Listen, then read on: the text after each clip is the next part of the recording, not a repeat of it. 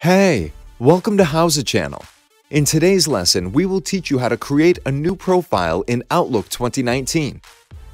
Go to the taskbar search and type Control Panel. Click on it to open. Select Mail, Microsoft Outlook 2019. Click on Show Profiles. Click on Add. Enter a profile name. Click OK. Check Manual Setup or Additional Server Types. Click Next.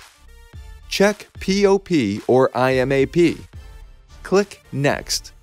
Enter your name and an email address. Set the account type to IMAP.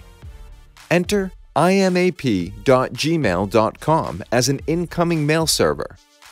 Enter smtp.gmail.com as an outgoing mail server, SMTP.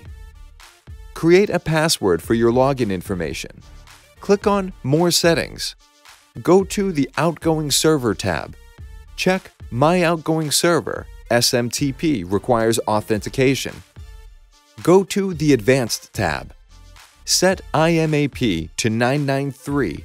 Set the encrypted connection to SSL and SMTP to 465. Click OK. Click Next. Wait until it is done. Click Close in the new window. Click Finish and enjoy. Thanks for watching the video. Please like it and let us know if you use any of our tips and tricks.